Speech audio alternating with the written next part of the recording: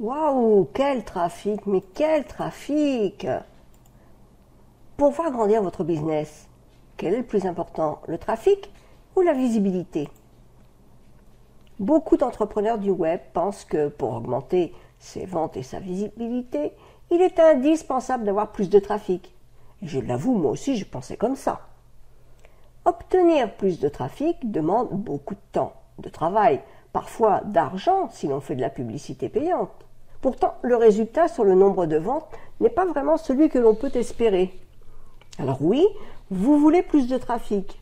Mais pourquoi? Juste pour regarder dans vos statistiques que vous avez de plus en plus de vues?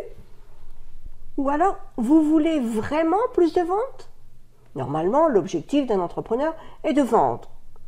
En avez-vous un autre? Quel que soit ce que vous avez à vendre pour vivre de votre business, il faut vendre le plus possible en respectant le client par une éthique irréprochable, bien sûr. Êtes-vous d'accord avec ça? Alors, revenons au trafic. Avoir plus de trafic permet effectivement d'avoir plus de personnes qui voient votre offre. Beaucoup cliquent pour voir. Mais sont-elles des acheteurs potentiels? Est-il plus intéressant d'avoir 1000 personnes qui cliquent uniquement par curiosité ou 100 dont 25 cliquent pour en savoir plus? Ces 25-là sont des clients potentiels, pas les autres. D'ailleurs, le calcul est vite fait. Si 1000 personnes voient l'offre et seulement 0,01% cliquent, alors que 99,9999 passent leur chemin, combien vont acheter Seulement un. C'est peu par rapport au nombre de fois où votre offre a été vue. Alors cependant, si les 25 personnes qui ont cliqué pour en savoir plus, car votre offre les intéresse vraiment, cela fait 25 clients.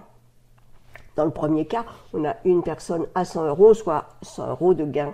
Dans l'autre, 25 personnes à 100 euros, soit 2500 euros de gain. Il n'y a pas photo. Et si vos clients sont satisfaits, ils n'hésiteront pas à acheter votre prochaine offre. Alors la vraie question est comment augmenter sa visibilité pour générer des ventes? Non, vous croyez pas? Il faut s'adresser à un public ciblé et surtout qualifié. Il faut s'adresser aux personnes qui ont le problème qui va être résolu par votre produit, à personne d'autre. Ça ne sert à rien. Vous l'avez compris, un gros trafic n'est pas la bonne solution encore moins si vous achetez de la publicité. Pour attirer les bonnes personnes, celles qui sont concernées par le problème que votre produit va résoudre, et non les curieux. Pour attirer les bonnes personnes, il y a plusieurs solutions. Un blog, des réseaux sociaux, YouTube, des articles invités, etc. L'objectif commun à toutes ces actions est l'inscription des visiteurs à votre liste pour pouvoir proposer votre offre, pas autre chose. Comme je vous l'ai dit, j'ai opté pour la vidéo animée pour obtenir plus de prospects. Voici quelques-unes des raisons. Pas besoin de matériel sophistiqué et souvent cher. Peu importe votre look puisque on ne vous voit pas. La possibilité de créer des scènes et des personnages. La multiplicité des possibilités de création. En plus, l'on peut facilement expliquer des concepts complexes de manière claire et concrète. Mais ce n'est pas tout on peut utiliser des visuels et animations qui rendent l'animation plus accessible. Bien plus simple à produire qu'une vidéo face caméra. Nécessite pas non plus de prises multiples avec un tournage parfois plus que compliqué.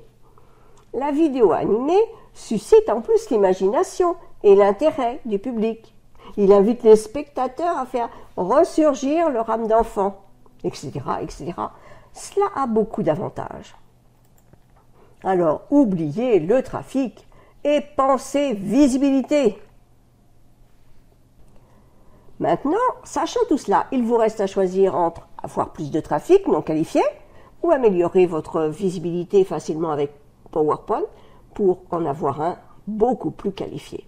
Si vous voulez découvrir comment utiliser PowerPoint, accédez à la formation offerte en cliquant sur le lien